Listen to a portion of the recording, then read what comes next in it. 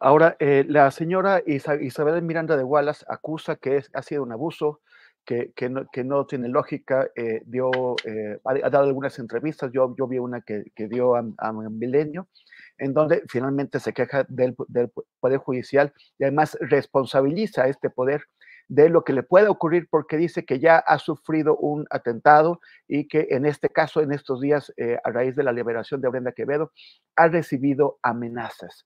¿Qué, qué impresión te, te, te deja eh, esta postura? Pues si de, permites, te, cuento el atentado que sufrió. ¿no? Eh, esta mujer tiene eh, sus oficinas y la escuela, eh, que es su negocio, y en fin, también las oficinas de, show, de Showcase y Showposter, que son sus empresas, en el sur de la ciudad. Y un día estacionada en la puerta de su oficina, eh, pues se dio una balacera entre los agentes que le puso el Estado mexicano a Isabel Miranda para protegerla y, un, y otros individuos. Ese es el atentado que ella acusa. Pero luego se supo que en realidad uno de sus escoltas había metido a un cajero, sacó dinero y un asaltante menor quiso quitarle el dinero y bueno, pues el, escolta le respondió con una pistola este, al muchacho que quería quitarle dinero a la escolta lo metieron a la cárcel y por cierto, pues es por el proceso judicial seguido en contra de este robo, que yo sé que no fue un atentado. Ella desde luego, luego, luego corrió a los medios y dijo que era un atentado, pero no hay atentado contra su vida. Lo otro, el otro atentado que ella dice que sufrió es porque Mari, y ahora se me va a olvidar el, el apellido que tú lo has de recordar, la pareja de Israel Vallarta, se le plantó también a Isabel Miranda en un meeting en 2017 y dice que un, una mujer vestida de hombre la quiso atentar contra ella. Te lo digo así, Temoris, todas las veces que ella ha recibido o una amenaza o un atentado, se confirma igual de fabricado que el caso Wallace. Entonces, no dudo que se haya autoinventado estas dos llamadas que le presentó el juez el lunes pasado para decir que Brenda sigue siendo tan tremendamente poderosa que va a poder quitarse el brazalete, va a contactar a un grupo de matones y como si fuera personaje de, de, de, de, película de estas gringas, ¿no? Va a llegar a su casa y le va a atentar contra su vida, la de su familia. Incluso ya anunció que ya abandonó su casa, su domicilio, este, está además custodiadísimo en una privada, ¿no?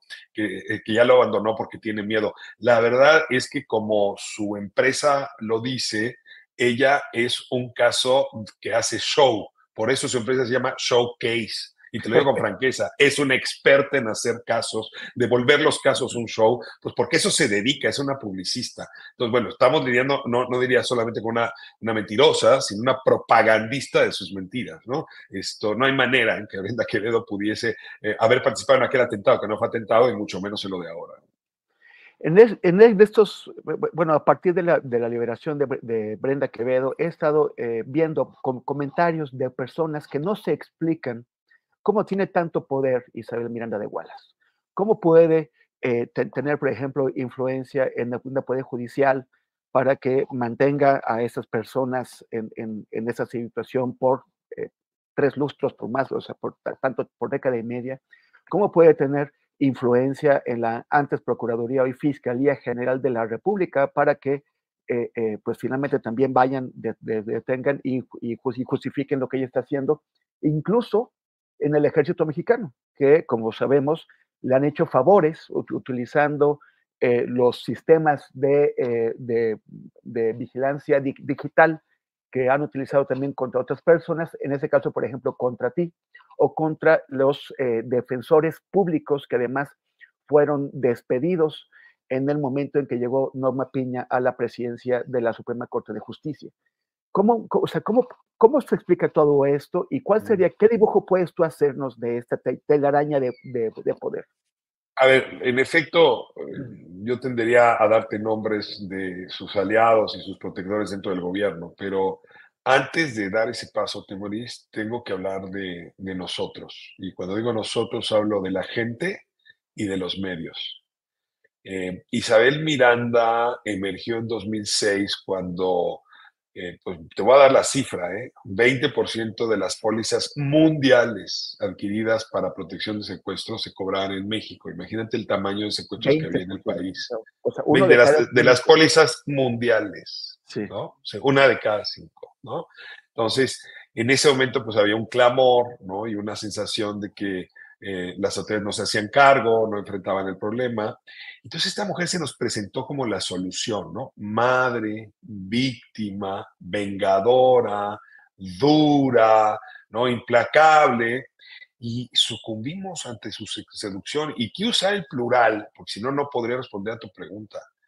Ella logra convertirse en un personaje, eh, digamos, de la sociedad civil, que estaba renovándose y que estaba dispuesta a enfrentar a los horribles criminales.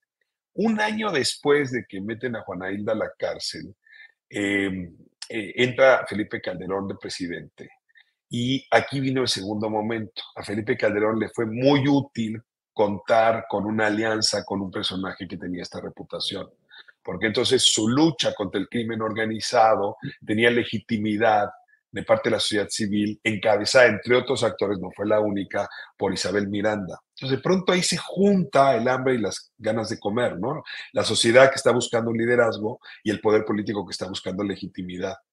Lo que para mí es un fenómeno muy interesante es cómo esa mezcla construye un halo de impunidad que le permite prácticamente hacer cualquier cosa. Es decir, exigirle al presidente que el ejército se meta en la investigación de su caso, fue lo primero que fue a pedirle, eh, entrar a las cárceles cuando quería, eh, incluso pues ordenar torturas dentro de las cárceles y que estas ocurrieran. Así están las declaraciones, así está en la recomendación de la Comisión Nacional de Derechos Humanos, ¿no?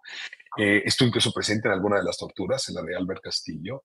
Eh, le permite fabricar pruebas y que nadie diga nada, ordenarle a los peritos qué decir, ¿no? Eh, torturar, digamos, construir declaraciones por parte de terceros testigos, ¿no? Que participaron en el juicio. Es una enorme cantidad de poder el que tiene. E incluso creo que es difícil encontrar a alguien que haya tenido tanto poder. Y luego, a pesar de las torturas, la fabricación de pruebas, en fin, se le entrega el Premio Nacional de Derechos Humanos. Entonces, toda la clase política, la clase empresarial quería ser amigo de Isabel. Isabel tenía todas las conexiones. Y luego, ya la locura fue asumir que podía ser candidata a jefe de gobierno del PAN. Fue la peor candidata que ha tenido el PAN nunca, ¿no? O sea, ni siquiera Castillo Peraza fue tan malo como ella.